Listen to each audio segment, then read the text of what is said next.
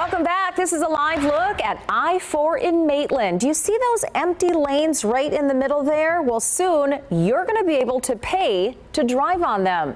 Fox 35's Amanda McKenzie joins us live tonight. All right, Amanda, a lot of people can't wait until these lanes are opened up finally.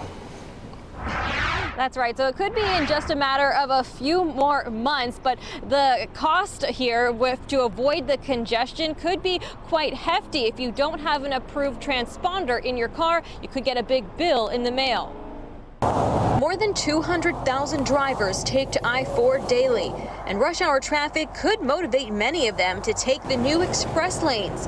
But that doesn't mean you can drive faster. The speed limit is the same whether you're in the express lanes or the general I-4 lanes. Direct connect lanes like this one allow drivers to get directly on and off the I-4 express lanes without having to cross over several lanes on the non-toll side. But before you make that decision, you must have an approved transponder like SunPass, E-ZPass, ePass, or Peach Pass.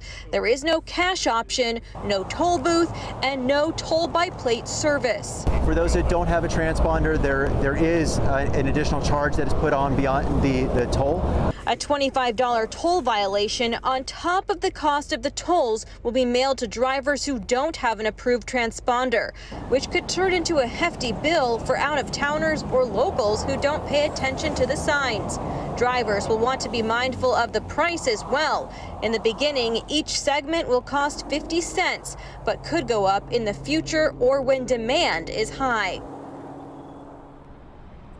Officials say the new I-4 express lanes should be opening early next year. Reporting live in Seminole County, Amanda McKenzie, Fox 35 News. Thanks, Amanda. Here's another look at I-4 in Maitland. Again, those lanes out there, I've been looking at them longingly for quite some time. I want to drive back, on you so I just, bad. I, and then I see the people from I or uh, from FDOT driving out there, and I'm jealous.